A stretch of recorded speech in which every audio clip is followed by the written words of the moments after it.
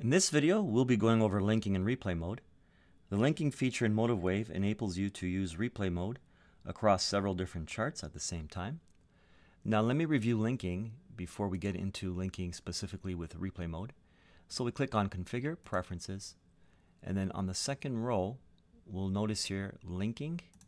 If we click on that, we have three options for linking. We have instrument, we have bar size, and then we have none. If we select instrument, for instance, for the red link, if we then make these two charts red, then you'll notice if I click on one of the charts, they both synchronize to the same symbol. So let's just remove that. So that's instrument link. Now let's say I want to put this back to the euro dollar.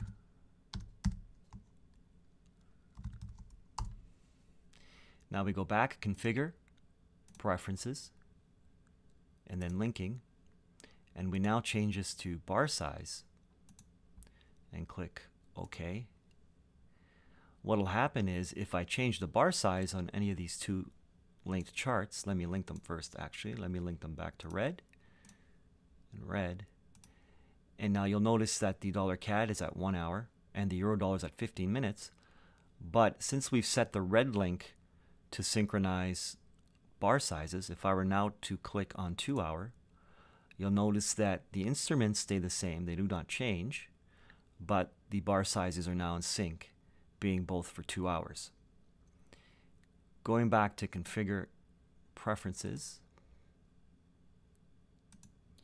if we now change this to replay mode or none, what'll happen is we will not affect the synchronization of instruments or bar sizes.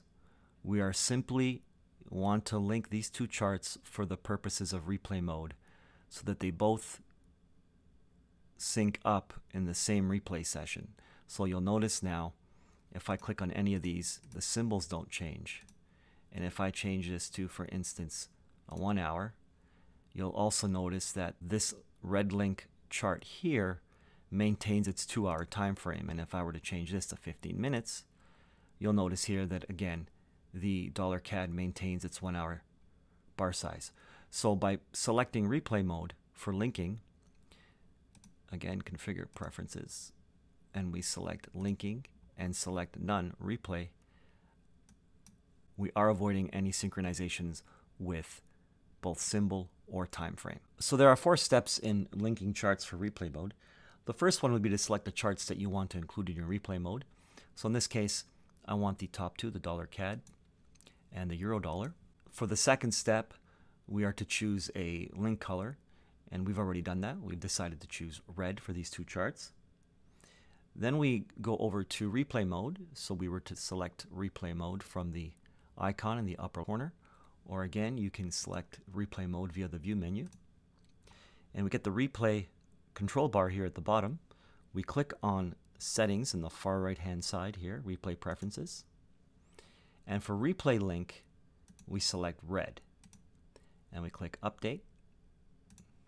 And now if we power up our replay mode, you'll notice that only the two charts belonging to the red group are now part of the replay session. Now you'll now notice in the replay bar that we have here on the far right the chart that's currently selected. In this case, it's the euro dollar, along with its corresponding bar size and the link color. Now, there's also another more convenient way to do linking in replay mode, and that's using page linking. Let's power off replay mode. Let's go back to replay settings, far right hand corner. You'll notice here under replay link, you have page. Now, when page linking is used, uh, which by the way is a default, all the charts that are part of that page will be included in the replay session. So that means all these charts here will be included in this specific replay session. Now, the page linking can be used either uh, inside the console or a desktop. So if we click update, and now if I power it on, you'll notice all four charts now become part of the same replay session. If we take a look at the bottom right here in the replay control bar, you'll notice that the active chart is the euro dollar with a 15 minute bar size selected. So when we use the control bar here to progress through ticks, the bar size of the active chart, in this case the euro dollar 15 minute, will be used. So if we take a look at the hourly charts, you'll notice that as I click on play next tick, you're not getting a new hourly bar until your 4 15 minute ticks play. So that's it for this video, and we'll see you in the next.